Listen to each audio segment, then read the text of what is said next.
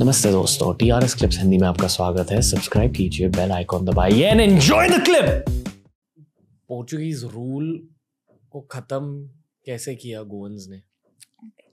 सो so, और सब गोवंस united थे?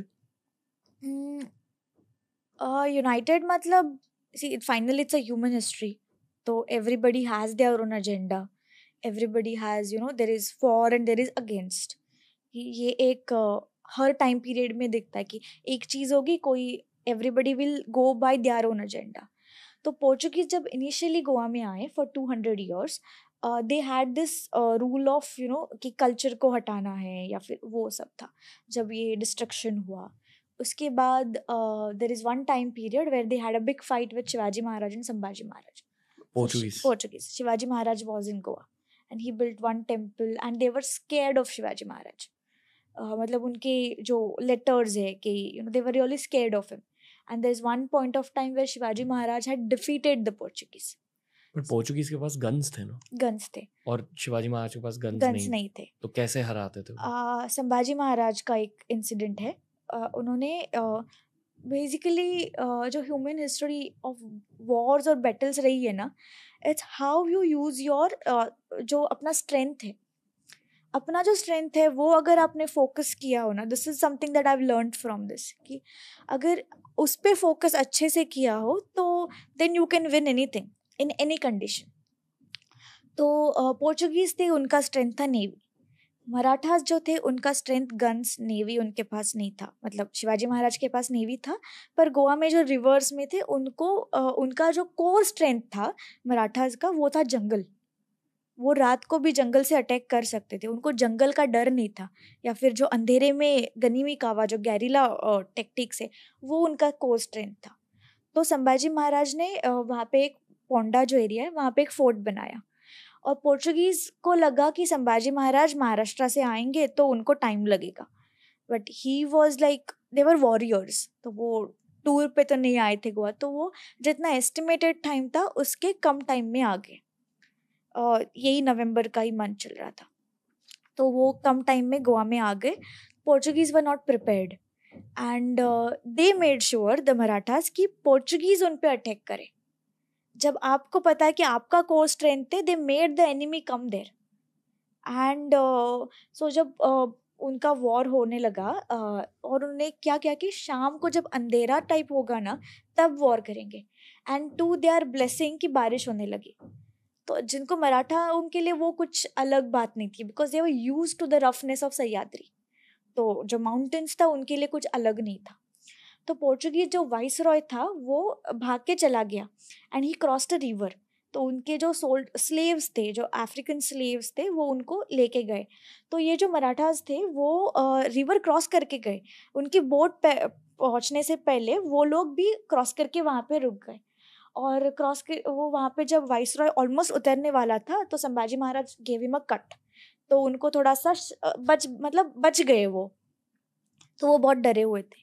So he kind of quarantine himself in a place तो संभाजी महाराज ने पूरा कैप्चर किया था।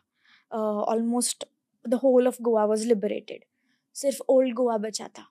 और देर इज़ अ बिलीफ कि जो वहाँ पे एक फ्रांसिस जेवियर के जो रिलिक्स है तो पोर्चुगीज प्रेड देर कि you know you are the patron saint of ours you save us और जो वाइस रॉय था, उसने अपना स्वोर्ड रख दिया कि आप ही अभी हमें बचा सकते हो। तो Sambhaji Maharaj was on the other side so Portuguese ने जो बड़े बाँध जो होते स्लुइस गेट्स वो तोड़ दिया। तो वो संभाजी महाराज आइलैंड पे थे तो पानी बढ़ने लगा। और at the same time Portuguese asked Mughals कि, आप हमें हेल्प करो। अभी मुगल्स तो गोवा नहीं आ पाएँगे तो they plan to attack Raigad. Now Sambhaji Maharaj has two option either wait for some time and attack on uh, goa uh, old goa और गोवा पूरा लिबरेट कर दो और या फिर अपना घर बचाओ रायगढ़ जाके। Any person will of course save their own empire at the same time Goa का जो रिवर्स है छोटे लगते हैं। अगर आप गंगा गोदावरी ऐसे देखो विट बहुत कम है पर वो मक्की है। अ, मतलब जो अ, मिट्टी बहुत है उसमें। तो संभाजी महाराज वॉज़ इम्पेशेंट कि बस मतलब यू हैव कवर्ड 99 परसेंट आपका काम हो गया है। बस कैपिटल बचा है। इट्स लाइक 99 परसेंट लोडिंग वो जो इम्पेशंस होता है ना तब की तो he wanted to cross he jumped in the water और पानी में जंप करने के बाद uh, मतलब उनका जो घोड़ा था वो मिट्टी में जाने लगा। Because high tide low tide का वो समझ नहीं आया उनको। तो एक जो बंदा था, खंडो बल्लाड़, उसने अपनी जान उसमें डाल के मतलब खतरे में, उनको बचाया। And when Sambhaji Maharaj came out he was like अरे, मैंने तो इनके पापा को मतलब जो थे, उनको पनिश किया था as a part of treason तो any person will you know take a revenge कि इसने मेरे पापा को मारा है तो I will happily see his death so Sambhaji Maharaj बहुत शौक कि इसने अपनी जान खतरे में डाल के मुझे क्यों बता, बचाया? सो ही आस्ट हिम कि ऐसे क्यों किया?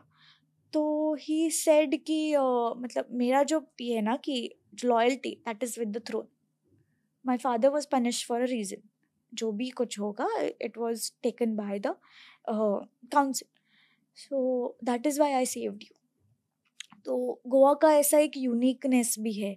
मतलब एक जो, एक it's like an lost pages of history that nobody knows of then Sambhaji Maharaj के पहले Sambhaji Maharaj could not liberate Goa at that time he had to go back to Raigad उनके पहले जब शिवाजी महाराज आए थे तो दीवार एक आइलैंड है, वहाँ पे सप्तकोटेश्वर का मंदिर था। सो ये going little bit of flashback तो दीवार पे जो सप्तकोटेश्वर का टेंपल था दैट वाज द राज दैवत तो it's a part of anybody's you know any victory की मैं इनका जो राज दैवत है ना, वो इधर आई विल डिस्ट्रॉय इट और I will take it to my house कि इट्स लाइक यू नो देखो मैंने तुम्हारा क्या किया। आप मतलब जो राजा का ही टेंपल मैंने डिस्ट्रॉय किया या लूट किया इट्स लाइक कि वो जो एक एक वो सेडिस्टिक प्लेजर होता है। तो वो टेंपल उन्होंने क्या किया था कि जो शिवलिंग था, वो and this is all recorded by the Portuguese हाँ कि जहाँ से गंदा पानी जाता हो ना खेत का, वहाँ पे रख दिया था। तो अगर किसी ने रियली कन्वर्ट किया हो तो उसको कुछ उसका मतलब फ़र्क नहीं पड़ेगा। इसके लिए तो एक बस पत्थर ही ऐसे होना चाहिए। तो जो लोग थे who are on the other side of the island who are not in Portuguese area तो वो रात को आके उसको लेके गए और एक केव में रखा था। तो one Shivaji Maharaj came to Goa उन्होंने कोलवार, एक फोर्ट है शपोरा रिवर के यहाँ पे तो ही अटैक्ट ऑन इट उनको वैसे कुछ ये नहीं था कि आ गए रैंडमली पोर्चुगीज पे अटैक करो। तो उनके जो कोई एक लोग थे whom he he had to you know take them into custody they had come to go out as a shelter for them तो शिवाजी महाराज ने पोर्चुगीज़ को बोला कि आप उनको हमें सरेंडर कर दो। तो which they didn't do so Shivaji Maharaj attacked on the Bardez area of Goa तो वहाँ से वो आगरा से निकल चुके थे। तो जो पोर्चुगीज सोल्जर्स थे, उनको लगा शिवाजी महाराज जो औरंगज़ेब को भी चीट करके निकल सकता है तो वो मतलब तो कुछ दस फुट का रहेगा, ऐसे ह्यूज डिमन लाइक कोई तो दिखता होगा। सो वेन दे हर्ड कि वॉर जो गॉसिप्स आती है कि Shivaji Maharaj is coming himself तो they started running away so Shivaji Maharaj came took over he sign the treaty he said कि जो फोर्सफुल कन्वर्जन है आपको, बहुत सारे रूल्स थे कि ये आपको बंद करना है, ये करना है, वो करना है। So he went to Bicholim और वहाँ पे उन्होंने सुना कि ये जो टेंपल था, ऐसे ऐसे इसकी स्टोरी है एंड दैट वॉज़ द राज दैवत of the Kadambas so Kadamba is a dynasty that ruled in Karnataka and Goa तो राज दैवत is always the pride so he thought of redoing it and he rebuild the temple so so, उसके बाद फिर से वो जो एक cultural revival था वो भी स्टार्ट हो गया। uh, बहुत सारे जो गोवंस थे they were working with the Marathas there is a temple Mangeshi Mangesh भगवान का जो है और शांता दुर्गा का है। तो उनके जो एक डिवोटीज थे देव शांता दुर्गा के डिवोटी थे temple it's one of the most famous temple in Goa तो he was the Diwan of the Maratha empire so he was asked by Shahu Chhatrapati grandson of Shivaji Maharaj कि मैं आपको क्या दूँ? तो कोई भी, कुछ भी मतलब खुद के लिए मांगेगा कि you know give me some gold या फिर मुझे कोई पोजीशन दे दो या फिर कुछ लैंड दे दो। सो ही सेड कि मेरी जो डेटी का टेंपल है ना, मेरी जो देवी का टेंपल है, शांता दुर्गा का can you help me rebuild it so Shahu Chhatrapati said yes and that was the area which was under the Maratha rule तो ये सेड कि ये गाँव का टैक्स मैं नहीं लूँगा, ये मंदिर को जाएगा। He also made the donations at the same time Portuguese भी थे, वो जो सब एट यूरोप में रेवोल्यूशंस भी आ चुके थे फ्रेंच रेवोल्यूशन तो आइडियाज़ ऑफ़ यू नो अलग अलग जो एक डायनेस्टी बेस्ड पॉलिटिक्स होता है और उसके बाद जो मिलिट्री बेस्ड पॉलिटिक्स होता है। मिलिट्री में ये कल्चर वगैरह वो सब चीज़ें उतनी मायने नहीं रखती जितनी डायनेस्टी रूल में होती है। तो वो थोड़ा सा उस टाइप के गवर्नेंस के लिए जा रहे थे। सो पोर्चुगीज़ जो एक डायनेस्टी बेस्ड पॉलिटिक्स से after revolutions in Europe French revolutions हो या फिर और कोई जो भी उनका एक आइडिया का एक थॉट प्रोसेस चेंज हो गया था। तो उसकी वजह से उनका जो एक फेनेटिसिज्म था कि नहीं ऐसे ही होना चाहिए जो एक कल्चरल डिक्टेटरशिप था कि नहीं जो मेरा कल्चर है वही सबका कल्चर रहेगा हम्म, वो थोड़ा कम हो गया था। पर मिलिट्री का रूल हो गया था। और उसमें फेनेटिसिज्म था मतलब वो कोई कुछ अच्छ मतलब एक एकदम से चेंज हो गया ऐसे नहीं। You could practice your religion you could अगर उन्होंने टेम्पल्स के लिए भी अलाउ किया कि पणजी में एक महालक्ष्मी का टेंपल है 1818 में बनाया था सो दैट पोर्चुगीज अलाउड आप अपने घर में uh, रख सकते थे जो भगवान है आपको एक्स्ट्रा टैक्स देना पड़ेगा ऐसे करके वगैरह उन्होंने uh, कर दिया था। पर जब उनका मिलिट्री रूल था, उसमें आप बाकी सब कर सकते हो। आपको यूरोप जाना है, जा सकते हो। आपको, पर आप जय हिंद नहीं बोल सकते हो। Something saying as simple as Jai Hind या फिर महात्मा गांधी की जय, जो इंडियन इंडिपेंडेंस मूवमेंट हो रहा था, उससे इंस्पायर्ड लोग थे। 1947 में इंडिया का आज़ादी हो गया और गोवा को और 14 इयर्स लग गए। तो जय हिंद बोलते थे, भारत माता के जय that was not allowed so some people still say कि Portuguese rule was better. They like it more than today's rule. But then से आपके पास सब कुछ होगा, पर आपको जो फ्रीडम चाहिए वही नहीं होगा तो मतलब you will have good roads you will have good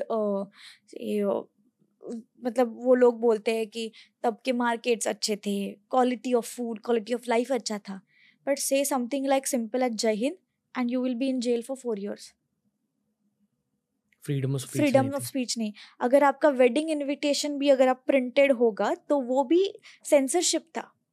so so, एक एक रूलर था Salazar who was a dictator from Portugal तो उसके टाइम पे वेडिंग कार्ड या फिर मैच बॉक्सेस वो भी चेक होता था। मतलब बाकी आप कुछ भी कर सकते हो बाकी आपका क्वालिटी ऑफ़ लाइफ अच्छा रहेगा पर वो सबका नहीं रहेगा ऑफ़ कोर्स तो रिच थे उनका ही रहेगा। और रोड्स वगैरह सब अच्छे रहेंगे, पर say something like Jai Hind you are in jail right something nationalistic you are in jail and jail was like कि आपकी कोई कोई लोग जिनको twenty seven years they were be deported to Africa deported to Portugal ऐसे political prisoners थे। TRS clips Hindi के इस क्लिप देखने के लिए थैंक यू दोस्तों। लव टू यू ऑल नीचे हमने लिंक किया है इस पूरे के पूरे पॉडकास्ट को, यानी पूरे एपिसोड को। उसके नीचे हमने लिंक किया है एक ऐसी प्लेलिस्ट को, जिसे देखकर आपको बहुत मज़ा आएगा।